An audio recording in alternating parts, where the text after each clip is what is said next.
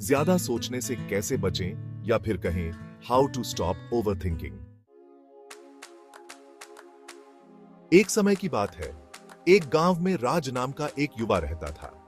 राज एक बुद्धिमान और मेहनती व्यक्ति था, लेकिन उसका एक बड़ा समस्या थी। वह अत्यधिक सोचता था।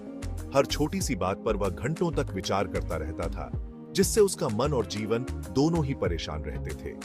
उसके दोस्तों और परिवार ने उसे कई बार समझाने की कोशिश की कि वह इतना नहीं सोचे, लेकिन राज की आदतें बदलने का नाम ही नहीं लेती थी।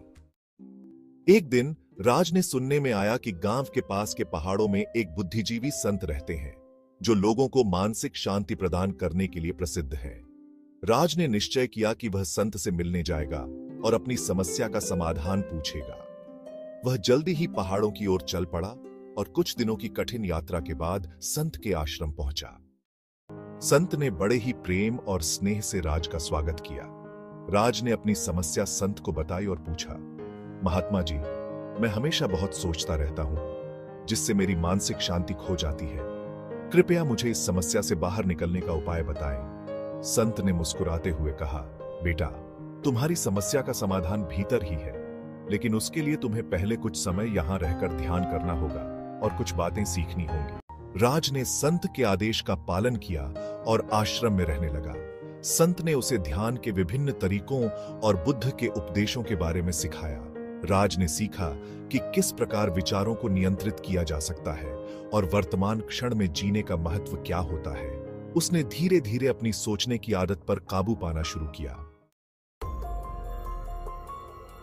एक दिन संत ने राज को पास बुलाया और एक कटोरा दिया, जिसमें कुछ पानी भरा हुआ था। संत ने कहा, इस कटोरे को लेकर नदी तक जाओ और बिना कोई पानी गिराए लौट आओ। राज ने संत के आदेश का पालन किया और धीरे धीरे कदम बढ़ाते हुए नदी तक गया। उसने ध्यानपूर्वक चलकर एक भी बूंद पानी गिरने नहीं दी। जब वह वापस लौटा तो संत ने पूछा, बेटा, तुमने यह काम कैसे किया? राज ने उत्तर दिया, मैंने केवल कटोरे पर ध्यान केंद्रित किया। और हर कदम सोच समझकर बढ़ाया। संत ने मुस्कुराते हुए कहा, बस यही तुम्हारी समस्या का समाधान है। जब भी तुम्हारे मन में अनेक विचार आए तो अपने मन को एक जगह केंद्रित करो और वर्तमान क्षण में जीने की कोशिश करो। विचारों को भटकने मत दो, उन्हें एक दिशा में लेकर चलो। राज ने संत की यह बात अपने जीवन में उतार ली।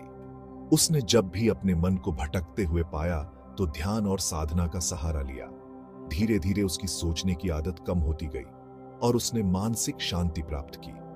उसने सीखा कि अत्यधिक सोचने से बचने का सबसे अच्छा तरीका है वर्तमान में जीना और अपने मन को एकाग्र करना। इस प्रकार राज ने अपनी जीवन की सबसे बड़ी समस्या का समाधान पाया और संत के उपदेशों के अनुसार जीवन जीते हुए खुशहाल और संतुष्ट हो गया। उसकी कहानी हमें यह सिखाती है कि जीवन में मानसिक शांति प्राप्त करने के लिए वर्तमान क्षण में जीना और विचारों को नियंत्रित करना कितना महत्वपूर्ण है।